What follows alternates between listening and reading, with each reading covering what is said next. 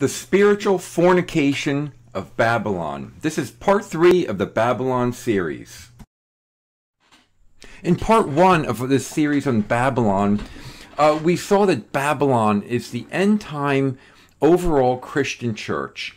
Um, so we're going to look today at one of the most primary features of that end time Christian church during the Great Tribulation, which is that of spiritual fornication. Um, so we have a study on our website, therockofoffence.com, if you want to look at this in more detail. And also, we would uh, encourage you to please subscribe if you find these videos of value. And uh, we're going to move on in our study. Thank you. Okay, let's move on in our study and read Revelation 17, Babylon's harlotry. I will show unto thee the judgment of the great whore that sits upon many waters, with whom the kings of the earth have, have committed fornication so the kings of the earth have committed fornication, and the inhabitants of the earth have been made drunk with the wine of her fornication. So he carried me away in the spirit into the wilderness, and I saw a woman sit upon a scarlet covered beast. And the woman was arrayed in purple and scarlet color, and decked with gold and precious stones and pearls, having a golden cup, a golden cup in her hand, full, full of abominations and filthiness of her fornication. And upon her forehead was a name written mystery, Babylon the Great, the mother, the mother of harlots and abominations of the earth. So we see in that passage uh, the, the reference to harlotry. So in the Bible, when we see harlotry, whoredom, fornication, all those words are, are they're all the same word in whether the New Testament in the Greek it's porneia, where we get the word pornography from, or in the Hebrew the word zana, and it's used many times throughout both the New and Old Testament. It's amazing how many times it's used about this. But when you see the words harlotry, whoredom, fornication, it's all the same base word. And it, it'll, as we're going to find out shortly, it spiritually refers to the worship of other gods and idols. Okay, so the key issues that we saw in Revelation 17 and 18. First, we have to answer the question what is spiritual fornication? Second, we see that Babylon is re referred to as the mother of other harlots and, and the abominations of the earth. And we find that Babylon commits fornication with the kings of the earth. With the kings of the earth is her fornication directed at. But the inhabitants also of the earth, which is everybody else, is made drunk, made to be just not in their right mind because of the wine of her fornication. And we're going to look at what that spiritually means. And we see that she has a cup full of abominations and filthiness of her fornication. So we're going to look at those concepts in the slides that follow. Okay, first, spiritual fornication. Let's understand clearly by looking at the scriptures what that is. And here's some examples of Old Testament Israel, which was the church in the wilderness. And we see that this concept always refers to the worship of other gods and idols. Leviticus 17:7, and they, which is Israel, shall no more offer their sacrifices unto devils, after whom they have gone a whoring. It's going after devils and other other gods. Leviticus 25, I will set my face against that man that goes to commit whoredom with Moloch. Moloch was a false god, a symbol of Satan. It was a symbol of what was not true about God. Number 15, remember all the commandments of the Lord and do them and that ye seek not after your own heart and your own eyes, after which you go a whoring. We see here the whoring or the, the fornication. It's things that are devised in our own heart, in our own eyes. It's things that we see with our eyes. It's the things of this world. Psalm 106. Thus they were defiled with their own works. Our own works can can cause us to go whoring with our own inventions or ideas. When we when we look for our way rather than God's way, that's spiritual fornication, and we're going after other gods and idols. Okay, here's some more verses. Uh, spiritual fornication concerning Judah. Judah was the southern two tribes. Jerusalem was the capital within Judah. And we see here uh, three verses. First, Ezekiel 6 9, I am broken with their whorish heart, which has departed from me, and with their eyes which go a whoring after their idols instead of being focused on God and God's way and God's word and, and God's ceremonies that were in the Old Testament, they went a whoring after idols about other things, other gods and other things or other interests. Jeremiah 2:20 upon every high hill and under every green tree thou wanderest playing the harlot. That's where they did uh, harlotry or, or idol worship was under every green tree. Uh, Jeremiah 3:1 thou hast played the harlot with many lovers and many it wasn't just one incident, one mistake. We all make mistakes. We're human beings. But it was with many. It was their normal course of life. And then they try to return to God and say that, well, I'm God's people, but I'm doing all this other, other harlotry. So we see that just doesn't work. Okay, so we saw both in the Old Testament the northern ten tribes of Israel and the southern two tribes of Judah that they both committed fornication. And Israel in general was the church in the wilderness, Acts 7:38. And we find in Isaiah 1 how is the faithful city, which is Jerusalem, become a harlot. And, and Jerusalem is a, a symbol for the church. It's the focus or the the headquarters of where God's law went from. But it became a harlot. It was full of judgment, righteousness, but but but it changed. Now they're murderers. It, it became corrupt after their own lust and desires. Jeremiah 3 8. And I saw when all the causes were backsliding Israel committed adultery. I had put her away. God divorced Israel and gave her a bill of divorce. Yet her treacherous sister Judah, the southern two tribes, they didn't fear, but they went and played the harlot as well. So both Israel and Judah played the harlot. And that's what spiritual fornication is. It's going after other gods and idols. Ezekiel 16, 17. Thou hast also taken the, thy fair jewels of my gold and my silver, which I've given thee, the precious things of God, which is the, the word of God and the treasures of knowing Christ. And instead they made themselves images of men and did commit whoredom with them. They, they were altogether after idols. They, they, they corrupted the true meaning, the spiritual meaning of, of the gold and the silver, and they went after worldly idols. Okay, so and there's many, many, many verses in uh, uh, in our website. We have listed all those verses on spiritual fornication, but we're going to look now. We're going to try to relate this to today a little bit.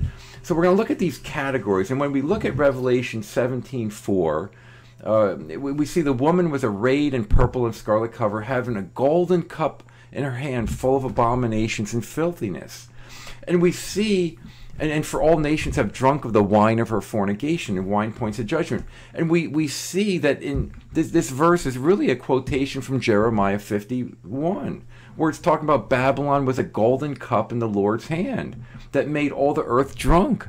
The nations have drunken of her wine, therefore the nations are mad. And that word mad in Jeremiah 51 7 is literally the word in the Hebrew halal, which means to glory or praise. And it's used in Jeremiah 9, verse 23 and 24 in a very interesting way, where we read, Let not the wise man glory or halal, same word used in Jeremiah 51 as mad. Let the wise man not glory or be crazy about his wisdom, neither let the mighty man glory or be mad about his might. Let not the rich man glory in his riches, but let him that glories glory in this, that he understands and knows me that I am the Lord which exercise love and kindness, judgment and righteousness in the earth. For in these things I delight, saith the Lord.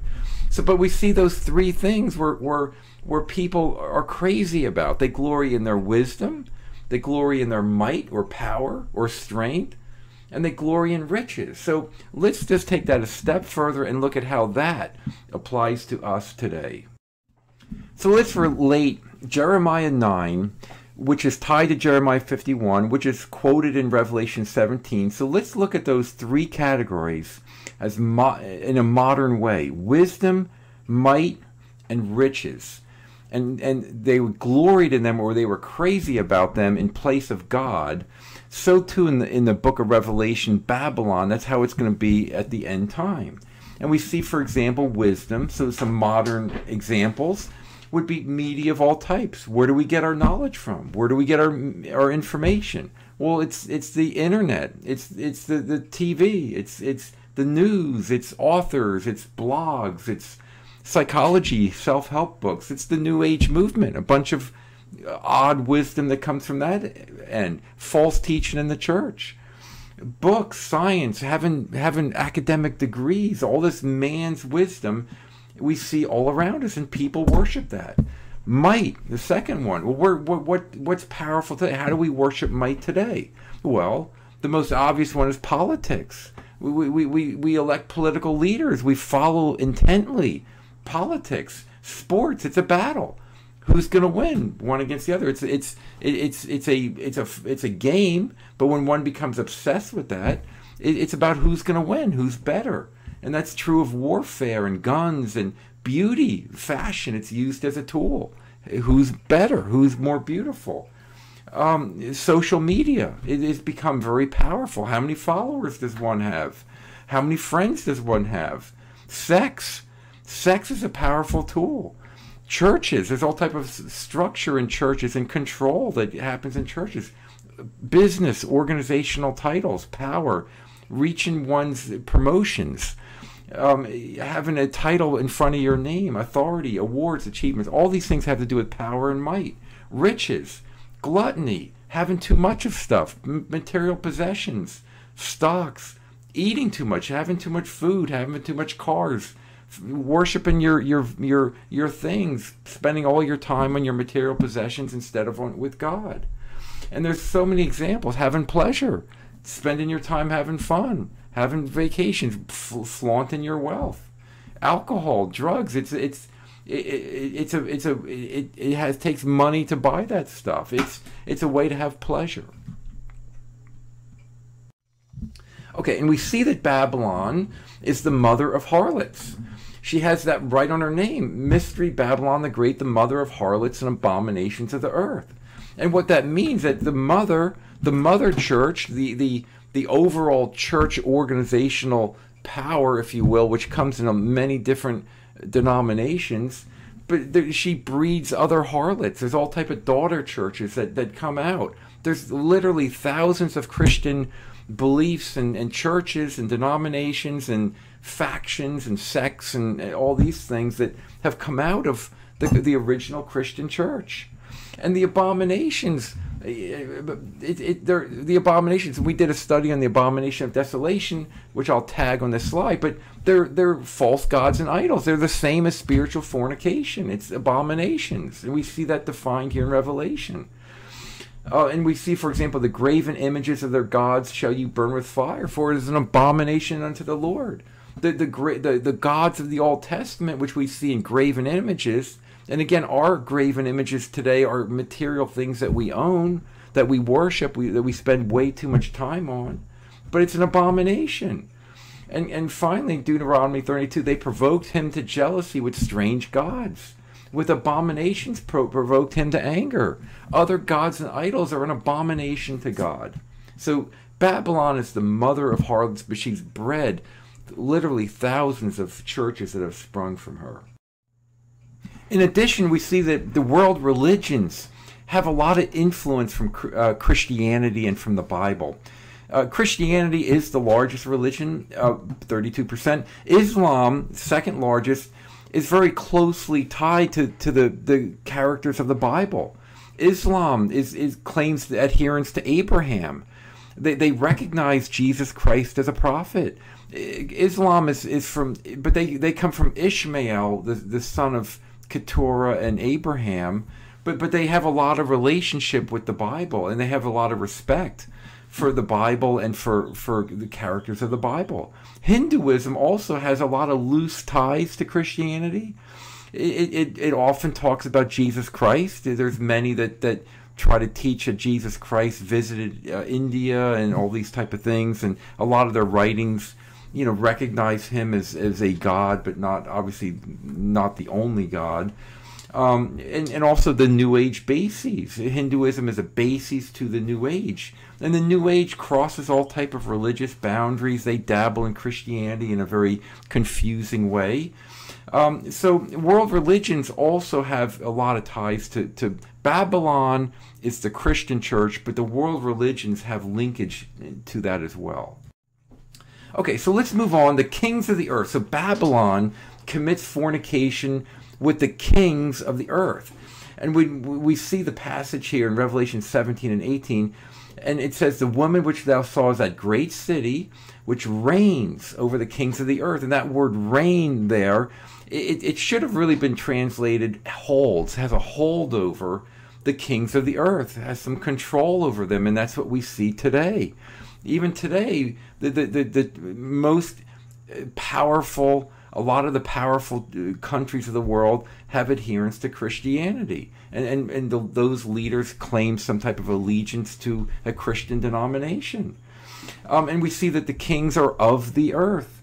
They're, they're, they're, they're symbol, symbolic for leaders. So they're the leaders in the church, in the, in the, in the earth. They're, they could be political leaders, they could be religious leaders, or they could be civic leaders. So we see that the end time false Christian church, Babylon, will have control, and the fornication is actually with the leaders.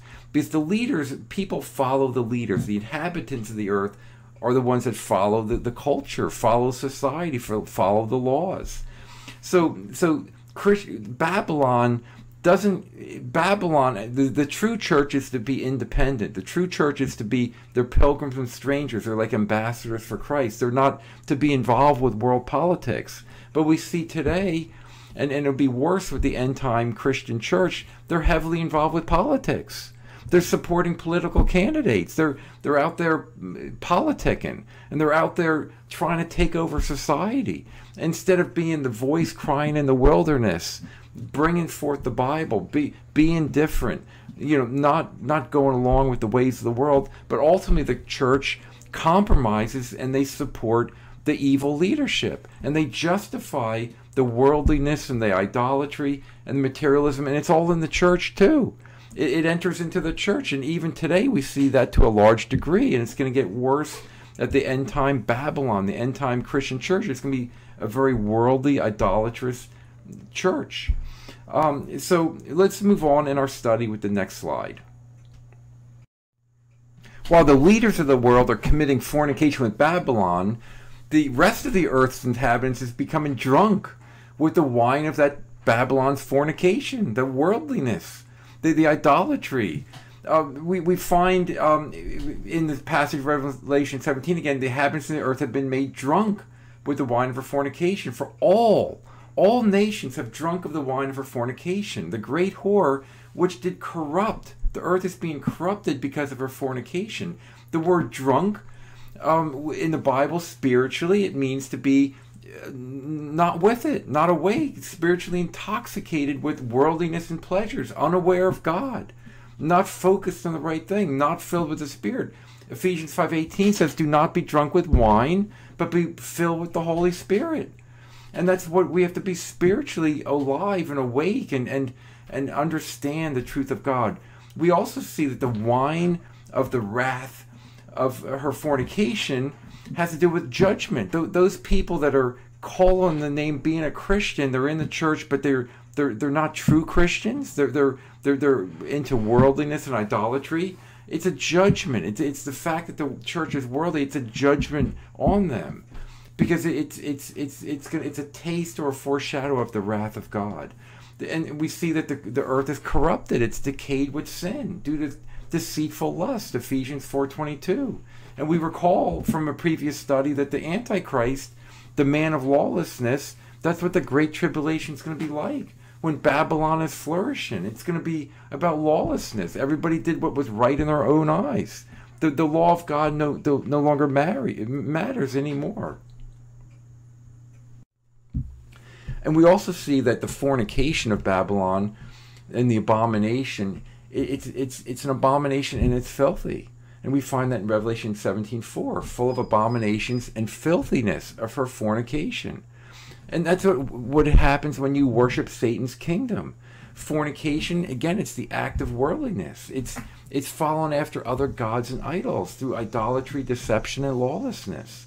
An abomination, literally, it means to be hated by God when you when when we when we sold ourselves away and we're, we're, we're following the things of the world, it's it's something that's hated by God. And to be filthy means to be unclean. It's spiritually unclean, which is similar to demonic possession. It was always called an unclean spirit. So we see that following the ways of this world, being lo- in love with the gods and idols of this world, it's it's an abomination. It's hated by God, and it's it's it's a dirty, filthy behavior to be involved with. Okay, and we see Babylon has a golden cup in her hand full of abominations and filthiness. And a golden cup. When we see in Scripture a cup, we remember that Christ took the cup of, of God's judgment in our place. We see that, that God, at the end day, he, he has a cup of judgment. And we find there's some verses here to, to, to, to if you want to look up Psalm 75 8, for example. So this judgment, Babylon has a cup of judgment, but it's golden. It looks very valuable. It looks important, but it's really a judgment of one's spiritual condition. Worldliness looks good on the outside, but but when one and, and when one that's in the church, one that uh, call, calls himself a Christian, takes forth of worldliness, it's a judgment. They, they get further blinded and they're, they're taken away from God. It's a form of judgment on that person in that they're not truly a Christian, even though they claim the name of Christ and they're in a church. And we see that the same thing happened at the time of Judah. The southern two tribes of Babylon was used as this golden cup in the Lord's hand that made all the earth drunken.